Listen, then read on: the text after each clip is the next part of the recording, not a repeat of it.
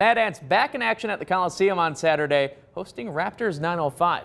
Really rough start for Fort Wayne. Ants go down by 21 at one point in the second quarter. Coach Steve Gansey and the Mad Ants looking much sharper in the second half. Walt Lemon Jr. right to the rim for a two-hand jam. Mad Ants going on a really nice run. Then it's Naz Mitrou-Long hitting Stephan Hicks on the backdoor cut. Scores, count the bucket and the foul.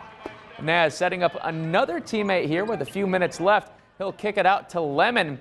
And Lemon buries the three as the shot clock expires. That puts the Ants up two. Lemon going for a game high 36 points.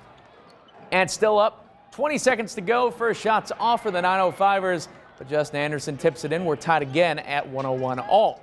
Under 10 seconds now, Mitrou-Long attacking, hits the deck, gets the foul call. He splits the free throws. Ants go up one.